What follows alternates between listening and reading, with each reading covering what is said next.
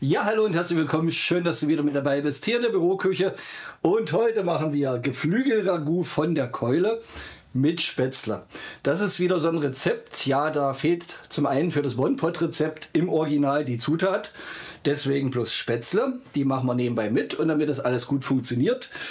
Und auch, weil ich doch einiges an Optimierungspotenzial in diesem Rezept sehe, würde ich sagen, das machen wir mal ziemlich anders, als es im Original gedacht ist.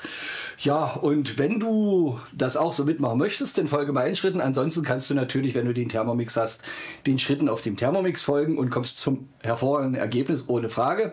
Für mich ist es immer spannender, das Ganze zu versuchen zu optimieren und das mache ich live vor der Kamera. Du siehst also, ob es funktioniert oder nicht. Und wenn es nicht funktioniert, ja, hast du ja immer noch die Rückfallmöglichkeit über das Originalrezept. Ja, deswegen, also ich habe jetzt schon mal vorbereitet.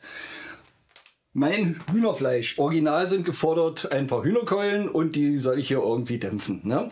Ja, Mittlerweile gibt es diese Hühnerkeulen auch bereits ohne Knochen, zumindest dort, wo ich einkaufe. Solltest du sie nicht erhalten, dann könntest du also entweder dem Originalrezept folgen oder die Knochen bereits auslösen. Sollte bei Hühnerkeulen nicht zu schwer sein. Und dann habe ich hier ja Würfel geschnitten und da habe ich sozusagen schon mein, ja, mein Gulasch, mein Ragout, je nachdem, wie ich es bezeichnen möchte. Und dann habe ich hier bereitgelegt 100 Gramm Zwiebeln halbiert. Hier sind meine Spätzle, ein Kilogramm Spätzle im Varoma bereits verteilt. Und ähm, ja, dann war er freigestellt, nimm Schwarzwurzeln oder Kohlrabi.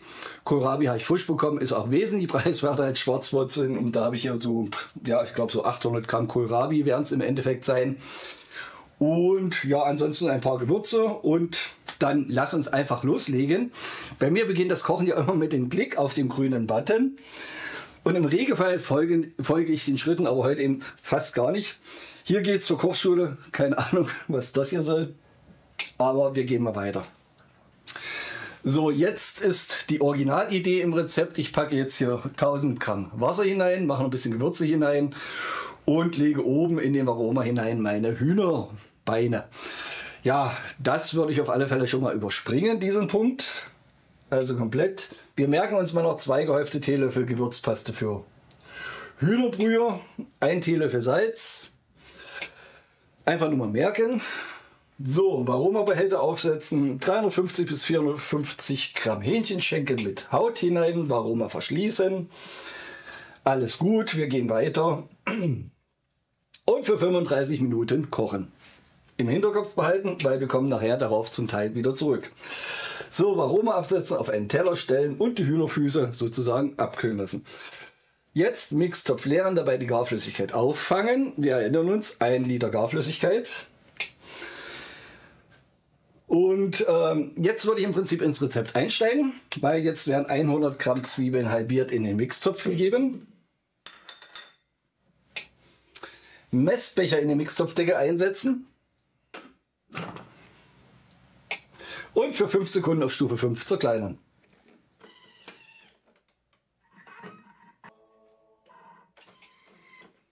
Mit dem Spatel nach unten schieben.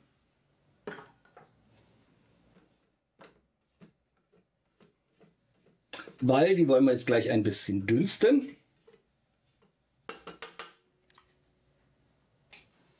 Und zwar in 40 Gramm Butter.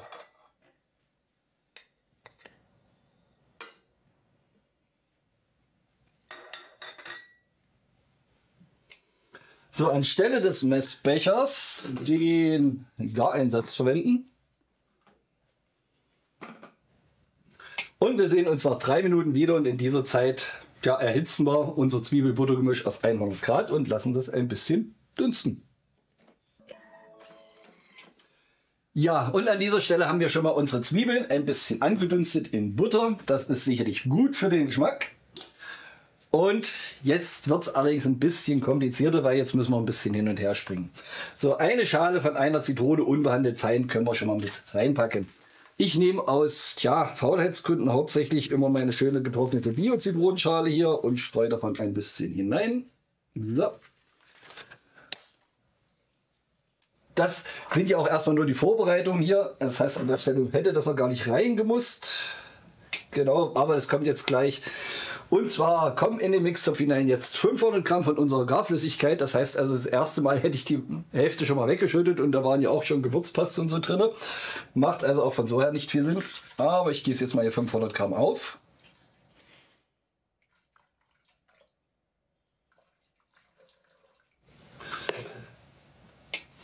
So, 40 Gramm Mehl, die würde ich erst zum Schluss hinzugeben, weil äh, jetzt müssen wir natürlich erstmal unsere ganzen Zutaten garen.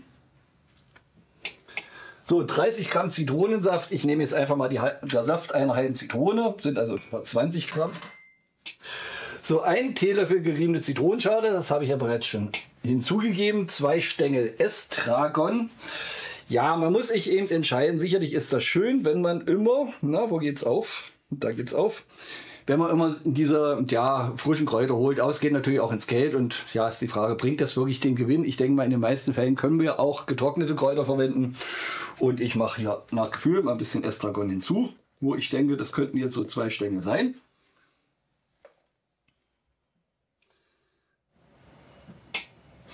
Eine Prise Zucker. Zwei Prisen Pfeffer.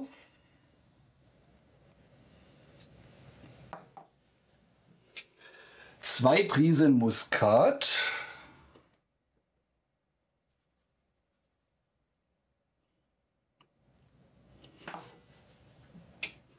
Und jetzt anstelle des Messbechers den Gareinsatz als Spritzschutz verwenden, auf die Mixtopfdecke stellen und wir gucken mal, wie es weitergeht.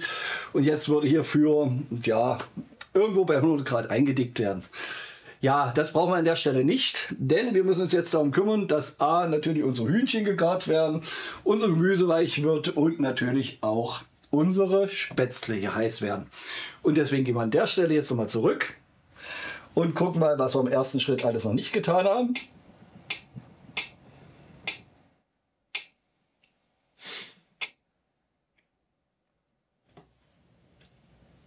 So, und zwar kommt das jetzt hier zwei gehäufte Teelöffel Gewürzpaste für Hühnerbrühe. Ich würde jetzt mal einen gehäuften Teelöffel Gewürzpaste für, ja, in meinem Fall Gemüsebrühe hinzugeben. Das gibt auf alle Fälle auch Geschmack, denn Hühnergeschmack sollte an sich hier genug dabei sein durch unser Fleisch. So ein Teelöffel Salz leer, da würde ich jetzt auch bloß noch einen halben nehmen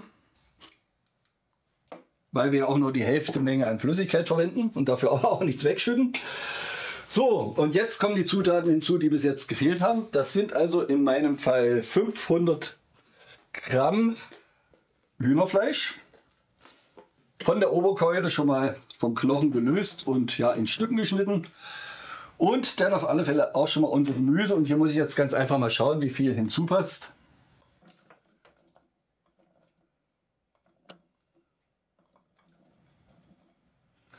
So, dass der Topf schön gefüllt ist denke mal so, haut das hin. Das Ganze wird jetzt mal ordentlich durchgerührt.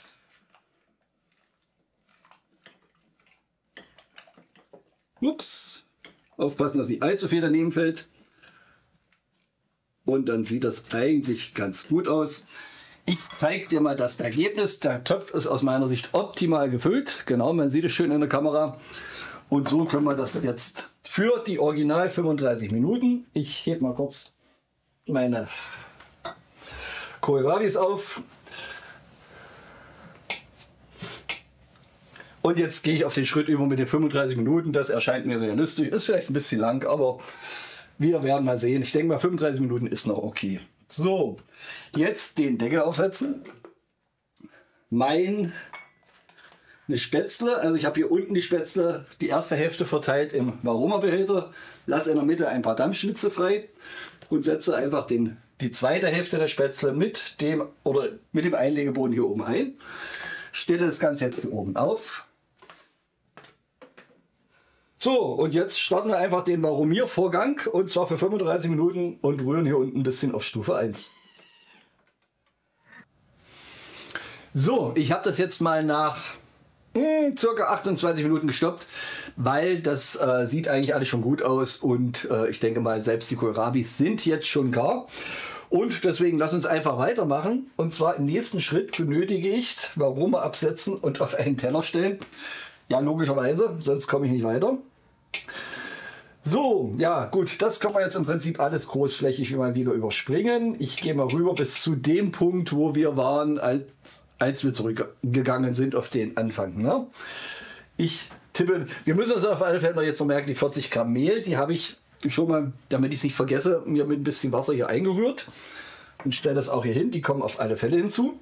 So, das hatten wir alles schon. Zwei Stängel Estragon, eine Prise Zucker. So, und hier bei dem Punkt eindicken bin ich sozusagen zurückgesprungen und wir machen jetzt einfach weiter.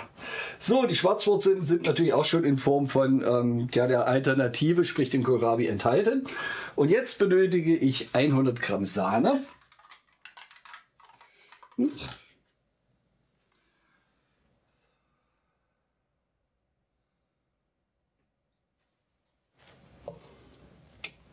So, anstelle des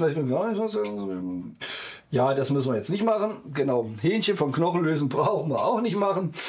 So, jetzt zwei Eigelb und 50 Gramm Sahne in einer Schale mischen. Das würde ich zusammen mit ähm, ja, meinen äh, mit meinem Mehl sozusagen, was ich schon eingeweicht habe, mischen. Und ja, ich schlage jetzt mal die zwei Eier rein, trenne das Eigelb und dann sehen wir uns wieder.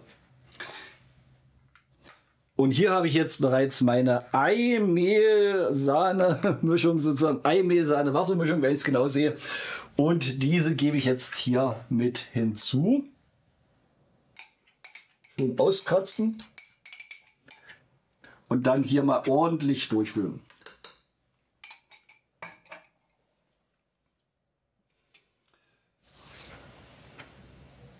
Ja, Mixtopf hineingeben, die Eimischung und jetzt Messbecher in den Mixtopfdeckel setzen.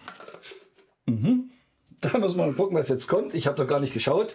Für zwei Minuten auf 90 Grad im Rührlauf, ja, das können wir machen. Ne? Geflügelragout abschmecken und zum Beispiel zu den Kartoffeln servieren. Und wir machen das natürlich hier zu unserem wunderschönen, bereits ja, heiß gemachten Spätzle. Ja, Ragout probieren. Jetzt bin ich gespannt. War ja doch ein bisschen anders als gedacht.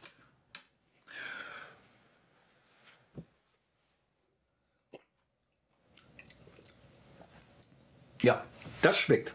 Ich werde mal noch eine Prise Salz mit hinzutun. Da ist jetzt wahrscheinlich ein bisschen wenig dran gekommen. Aber ansonsten haben wir hier wieder ein schönes Essen. Und ja, ich werde das Ganze jetzt nochmal anrichten, nochmal ein Foto machen, hinten ans Video anhängen und ja, dann wünsche ich dir auf alle Fälle viel Spaß beim Nachkochen. Ich wünsche dir guten Appetit und hm, genau. Hoffe doch, wir sehen uns in dem nächsten Kochen hier in der Büroküche wieder. Ich freue mich zumindest auf dich. Mach dir einen schönen Tag. Bis dahin, mach's gut. Ciao.